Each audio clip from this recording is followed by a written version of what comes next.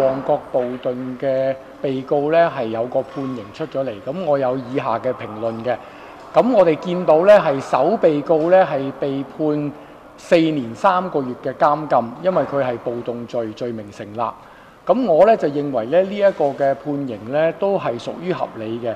因為呢我哋見到過去有關暴動罪嘅判刑呢，有試過呢都係由四至到六年嘅監禁都有。咁啊，考慮到呢個被告本身個年紀相對輕一啲呢，可能已經係減咗少少。咁所以呢，就呢一個嘅四年多啲嘅監禁嘅刑期呢，我相信都係合理。誒、亦都呢，我喺度再三強調呢，就係、法官亦都強調呢，今次嘅判刑係必須要有一定嘅阻嚇性。同時間呢，亦都再三講清楚呢，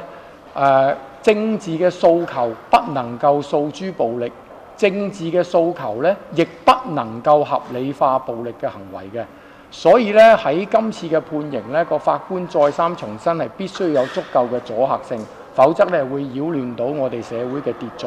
咁我希望咧大家都睇到呢個判刑咧，知道咧即係呢種暴力嘅行為咧係我哋社會上咧不能夠接受嘅。啊，咁啊，其實大概就係咁樣啫，睇下大家有冇誒問題問啫，係。好，咁如果冇就 OK 啦，就係咁，好嘛？OK，唔該晒，thank you，唔該，唔該，唔該。